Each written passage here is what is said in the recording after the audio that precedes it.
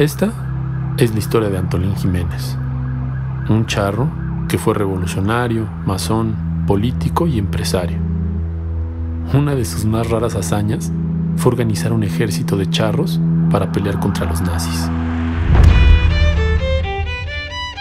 Bueno, Mate es la historia de mi abuelo, Antolín Jiménez, y al seguir a mi abuelo por su andar de la vida, vamos conociendo la historia de México, vamos conociendo cómo se pasa de la revolución a la creación de ciertas instituciones, a la creación de la charrería, a la creación de ciertos mitos fundacionales que tiene nuestro país. Una historia muy personal, que es la de mi familia, pero que habla y nos refleja una historia muy colectiva, que es la historia de México.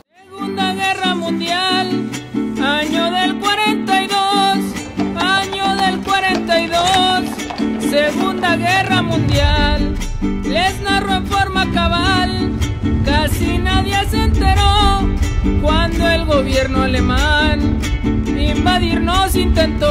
Es una película con una estructura sencilla, tampoco queríamos marear a la gente ni que se perdiera, sino que realmente fueran entendiendo, porque es mucha información la que tiene la peli sobre historia, sobre la historia de México, entonces queríamos que, la, que, no la bombardearan ni marearan, sino que realmente se disfrutara, ¿no? Al final, el título de Matria eh, es un guiño como a mi madre, porque es la historia de la madre de mi madre eh, también, y sobre todo es como una invitación a que repensemos al país, y para eso creo que funciona la, la cuestión de la matria, ¿no? Es, por ejemplo, el caso de lo que se veía en los documentos de tu abuelo. Cuando él funda y crea un ejército para enfrentarse a los nazis y a los japoneses que la semana próxima iban a invadir el país. El libro es un lujo, es una manera de agradecerle a las 130 personas que nos ayudaron, que se lleven también parte de todo este trabajo de una manera tangible. Y es también para que ustedes, la gente de medios y para que los expertos en historia y para que los expertos en charrería, pues se ubiquen mejor al abuelo. Lo que recomiendo en el libro, ahí dice, vean primero la película y luego vean, si quieren el libro ya es como algo extra y, y bonito que va complementando mucho de la ecuación. Su historia nadie me la contó.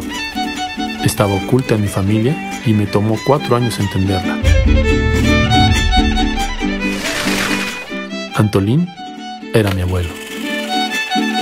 Estrenamos nuestra película este viernes 16 de septiembre. Vayan o no a dar el grito, eh, vengan a dar el grito de felicidad a nuestras salas y eh, nos gustaría que nos acompañaran y eh, pues fueran partícipes de esta gran película que nos tardamos seis años en llegar a este punto. Ojalá les guste. Creo que a cualquier nieto le hubiera gustado escuchar este tipo de historias sobre su abuelo, pero no nos las contaron.